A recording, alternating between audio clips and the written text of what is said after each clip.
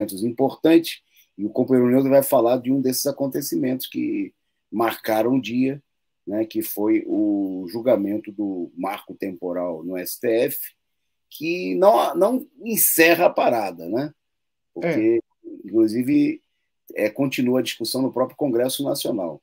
O Neuder conta para vocês o que aconteceu e a importância de continuar a mobilização. É, o que a gente pode tirar é que foi produto da mobilização, pressionando o STF, pressionando todo mundo, que saiu essa posição do STF, né? Que geralmente é, as posições são muito conservadoras. E teve essa posição a favor dos índios aí, por nove votos a dois, né? Eles foram contra o conceito de marco temporal, né? Que os latifundiários do país, né? Eles queriam impor em relação aos índios. Então, os ministros Luiz Fux, Carmen Lúcia, se, uniu, se uniram ao grupo que se opõe ao marco temporal, que já incluiu o relator Edson Fachin, Alexandre de Moraes, Cristiano Zanin, Luiz Roberto Barroso e Dias Toffles, que votaram a favor dessa posição ontem. Para eles, a proteção dos direitos indígenas sobre as terras não depende de um marco temporal específico. Assim, essa questão do marco temporal beira aí o absurdo, né?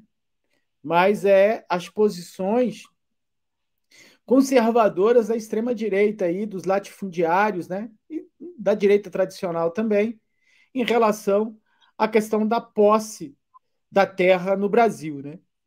Então, os índios já vinham lutando há muito tempo com isso, os, os, os, ministros do STF já vinham pedindo vistas há muito tempo, e finalmente chegaram a uma decisão. Só que tem uma, um porém, né? Uma, um, um, salvo uma questão interessante, que continua a discussão e de que é, essas terras elas têm que ser indenizadas diante das benfeitorias que os latifundiários fizeram nessas terras.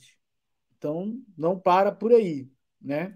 Uma outra coisa interessante também que aconteceu de tudo isso, né, que se estabeleceu uma luta entre o STF e a Câmara dos Deputados e o Senado, porque na Câmara de Deputados o marco temporal, o marco temporal passou de lavada, assim, né? Deu uma goleada lá, passou o marco temporal. Né? Para vocês terem uma ideia, é, a bancada dos latifundiários, né? a bancada do agronegócio, ela tem 280 deputados na Câmara e 40 senadores no Senado. Então, esses caras, eles já estão tramitando leis que visa é, a favor do marco temporal do ponto de vista dos latifundiários, né?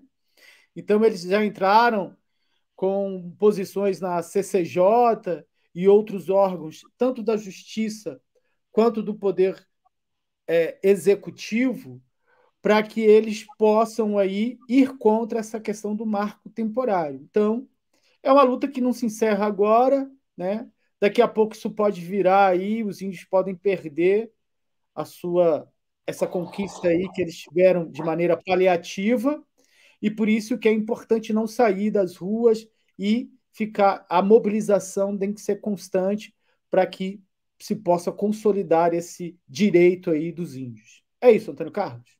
ok, beleza.